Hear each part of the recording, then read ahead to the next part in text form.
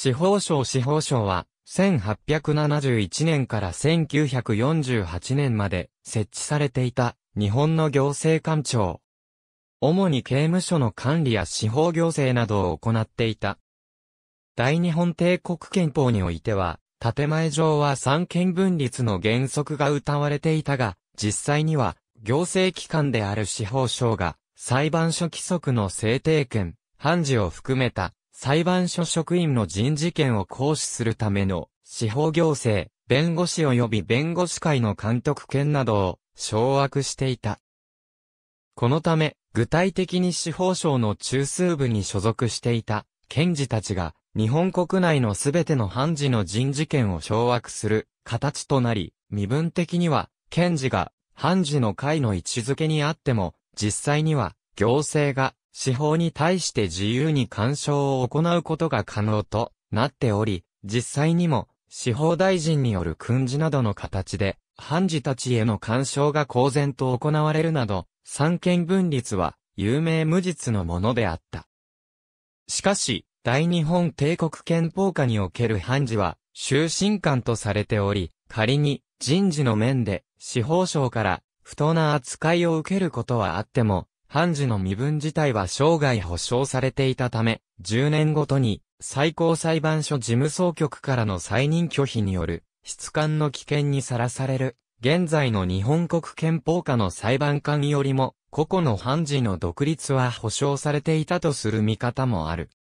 日本国憲法及び裁判所法の施行により、司法省が有していた裁判所に対する司法行政権は最高裁判所に移管された。司法省は日本国憲法施行後もしばらく存続していたが、法務庁の設置に伴い1948年2月に廃止された。しかし、最高裁の発足と同時に、司法省の官僚たちの多くは最高裁判所、事務総局へ移籍し、今度は最高裁判所の内部から、すべての裁判所と裁判官を支配、統制する形になった。一方、司法省官僚たちの中でも最高裁判所、事務総局へ移籍せずに残った組は、司法省の後継組織である、法務庁を設立し、こちらは、日本国内のすべての検察庁と検察官を統制し続けている。また、最高裁判所事務総局と法務省は、司法省の廃止後も、判権交流と呼ばれる人事交流を行うなど、現在に至るまで互いに関係を維持し続けている。なお、弁護士や弁護士会の監督権は、日本国憲法施行に伴う弁護士法の全部、改正により、そのまま日本弁護士連合会に移管された。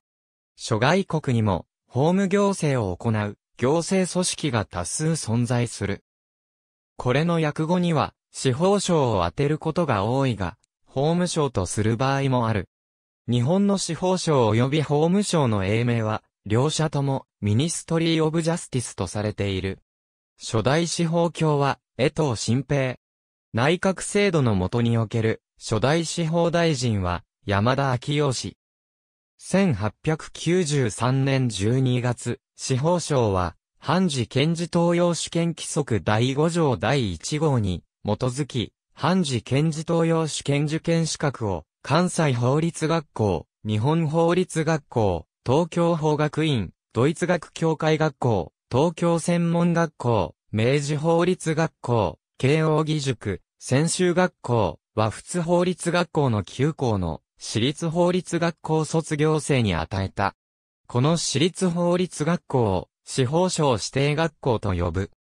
省庁組織編纂図、国会公文書館デジタルアーカイブ明治26年12月14日、司法省国時第91号、裁判所構成法第65条、第2項高梨校の五大法律学校物語一法学セミナー、ナンバー240、1975年。ありがとうございます。